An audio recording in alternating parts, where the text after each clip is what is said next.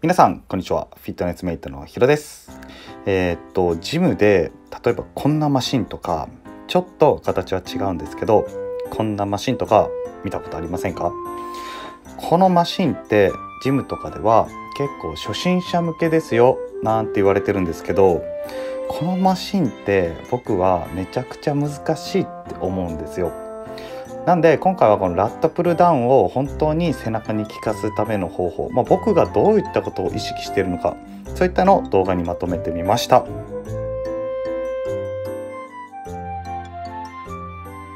はい、で、えー、基本フォームなんですけど肩が上にも前にも動かないように固定させたまままあ、腕を動かすことがポイントになってくるんですけどイメージで言うと1本の棒を肩の横からブスッと刺されて、ま、その軸その棒を軸にして、まあ、腕を上げたり下げたりでこの時になるべく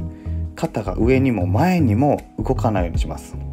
なんでラットプルのように腕を曲げる時も肩が動かないように固定させていきます。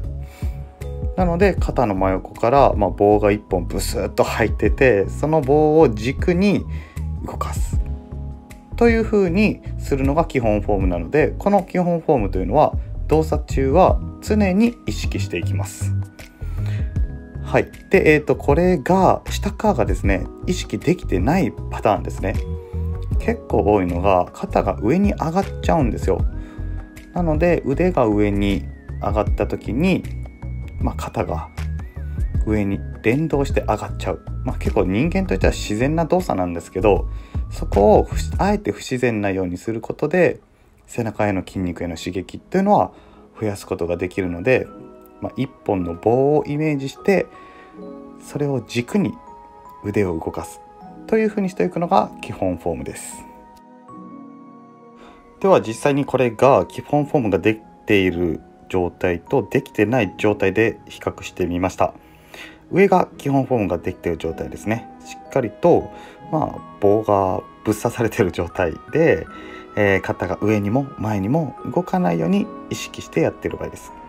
下側は特に意識せず普通に上げ下げしてます。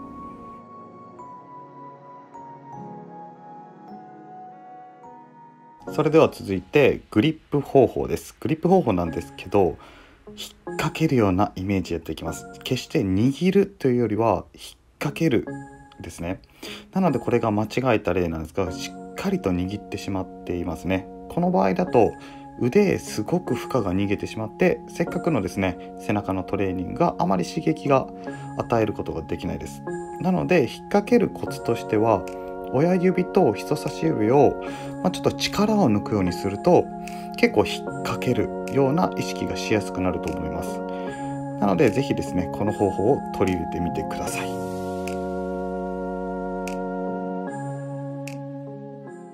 続いては肘の向きです。これ結構見落としがちなんですけど肘を外に向けます。外に向けて、まあ、バーを握ることでまあ、そうすることで結構広背筋への刺激を一気に増やすことができます。なので、まあ、このラットプルダウンでバーを引いている動作動作中というのは肘を外に向けるように意識してみてください。で先ほど言った、まあ、軽くバーをですね引っ掛けるようにしてバーを引いていくんですけどこの肘が内側に入ってしまうと、まあ、上腕二頭筋といわれる腕の力ですねがかなり使われてしまうことによって背中への刺激を減らしてしまいます。はい、それで、まあ、基本フォームを意識したままグリップも意識して肘も外に向けて、まあ、バーを引いた時に胸を張るようにしていきます。バーを引いた時により胸を張っていきます。はい、でこれが間違えた例なんですけどまずグリップですよね。もうギュッて握って手首がもう折れ曲がっちゃってる状態ですよね。でかつ胸が腫れてない状態。あと傾きも少し少ないですね。なのでしっかりと上半身を傾けてボートを引くようにこのバーを引いていくと広背筋への刺激っていうのを増やしていくことができます。でこれが比較なんですけど上体の傾きがなくて胸を張れてない状態とですねしっかりとできてる状態の比較になります。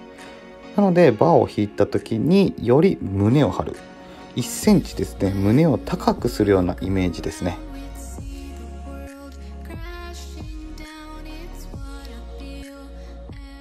はいそれではこれまとめていきたいと思います。でまずは基本姿勢ですね。しっかりと肩の横から棒を刺されてそれを軸にですね動かせれるように、まあ、肩を下げて、まあ、肩がですねちょうど体の真横に来るようにします。なので上にも前にも行かないようにします。でグリップ握り方はバーを引っ掛けるようにですね指を引っ掛けるようにしていきます。でできれば人差し指と親指を外すとよりですね引っ掛けやすくなります。で肘が外側で上半身を少し傾けてバーを引いた時に胸を1センチ高く上げていきます。はいそれで、えーと、今はフォームのお話ししたんですけどめちゃくちゃ大事なことがあってそれはマインドマッスルコネクションです。でそれはこの脳みそと筋肉鍛えてる筋肉の部位をつなげることなんですね。なので、えーと、意識する点としては、まあ、広背筋全部意識するのって結構難しいと思うんですよ